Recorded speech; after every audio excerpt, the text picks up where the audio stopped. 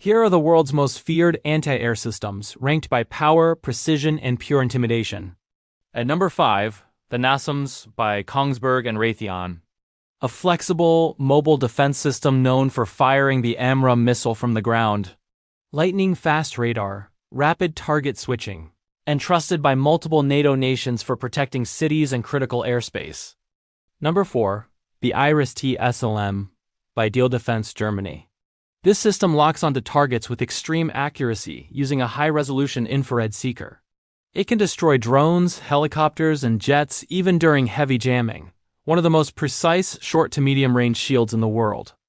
Number 3. The Patriot PAC-3 by Raytheon USA. A legendary long-range system.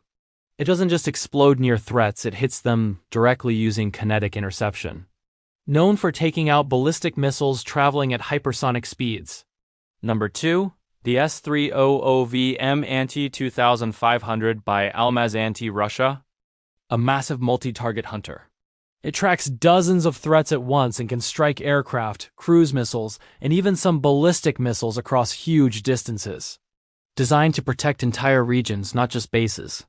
And at number one, the S400 Triumph, also by Almaz Antey-Russia, a long-range powerhouse capable of engaging targets up to 400 kilometers away.